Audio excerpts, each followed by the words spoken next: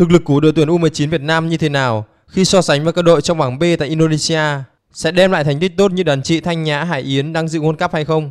Thưa quý vị, hòa chung không khí hân hoan của đội tuyển quốc gia Việt Nam khi đang lên đường tham dự World Cup 2023 thì giải vô địch bóng đá nữ U19 Đông Nam Á đang diễn ra tại Palembang của Indonesia cũng đã chính thức khởi tranh. Đội tuyển U19 Việt Nam nằm ở bảng B cùng với Singapore và Malaysia. Vì có 3 đội nên lượt trận đầu tiên của bảng B chỉ có một trận đấu diễn ra giữa U19 Việt Nam với U19 Singapore, trên sân field, Thực lực của đội tuyển U19 Việt Nam được đánh giá là mạnh nhất bảng B.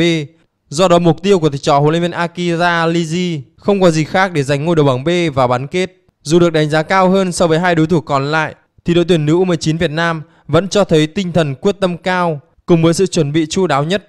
Cho đến lúc này, đội tuyển nữ U19 Việt Nam đã sẵn sàng bước vào hành trình chinh phục giải đấu, hướng tới trận chung kết. Hiện nay, thời tiết tại thành phố Palembang của Indonesia lúc này khá nóng với nhiệt độ cao. Tuy nhiên đội tuyển nữ U19 Việt Nam không gặp nhiều khó khăn trong việc thích nghi bởi trước đó toàn đội đã hội quân và tập luyện tại Hà Nội, nơi cũng có điều kiện thời tiết khá giống với Palembang của Indonesia.